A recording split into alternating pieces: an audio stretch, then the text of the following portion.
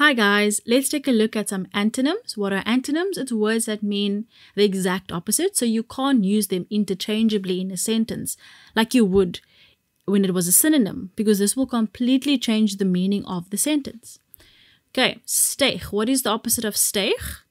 So when something isn't rising, it's falling or decreasing. So it's daal. When something is not gaar, gaar in Afrikaans is cooked. So when something is not cooked, it's raw. So it's rou. Praat. When you're not talking, you're either listening or you're being quiet, right? So it's luister of stil bly. Tydelik is temporary. So when something is not temporary, it's permanent or forever. So we can say ewig of permanent. Vernietig. When you're not destroying something, you creating something, preserving it. So we can say skep. And that is it, guys. I will see you in the next one.